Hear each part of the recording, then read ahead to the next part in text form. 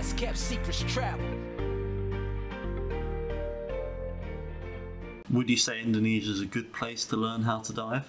I think Indonesia is probably out of everywhere I've ever scuba dived in my life, number one favorite place. Really? I think the water clarity, the water temperature, the wildlife that you can see on reefs when you're fairly shallow diving. So mm-hmm. anywhere, I call a shallow dive anywhere sub 15 meters. Some of my favorite dives in Indonesia have been done at between sort of eight to 10 meters going across a reef, and you just see everything. I've, hmm. When you're only a few meters deep, you can see lionfish, turtles, every just unbelievable place to go and learn to dive. And if you haven't dived before, if you're nervous about diving, I do really recommend Yeah. Indonesia because the seas aren't often as rough and it's just such a lovely feeling. And if you're worried about getting in a wetsuit, quite often you don't need to wear a wetsuit within Indonesian diving. So I've hmm. done a lot of my diving in Indonesia just wearing board shorts. Fantastic. It's seriously, seriously good.